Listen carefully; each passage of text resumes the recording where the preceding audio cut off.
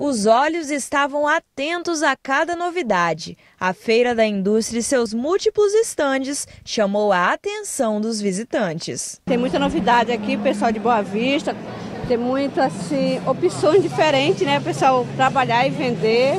Eu estou achando maravilha. A feira teve início ontem e deve seguir até o dia 12. Mais de 50 empresas estão mobilizadas no evento que reúne 17 segmentos da indústria. É uma feira de fortalecimento do segmento industrial.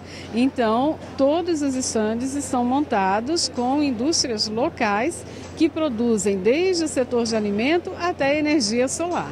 O evento teve desde desfile até robótica. E precisa explicar o que o Carlos mais gostou? Eu gostei dos robôs, achei interessante, eu gostei deles, que eles ficam se mexendo. Houve palestras gratuitas, degustação de alimentos e desfiles, que devem seguir até o último dia. O Ellison é empresário há 10 anos, mas aproveitou a oportunidade para expandir o seu público. A FEIND é uma oportunidade ímpar, né?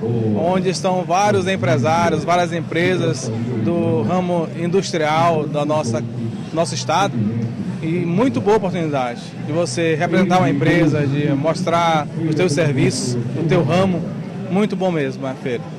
Todos os produtos e empresas da feira são locais e visam, além de divulgar suas marcas, fomentar o desenvolvimento do setor. A agência de fomento desburocratizou o crédito, agilizou a retirada desse crédito e ampliou suas linhas de crédito e diminuiu as taxas de juros.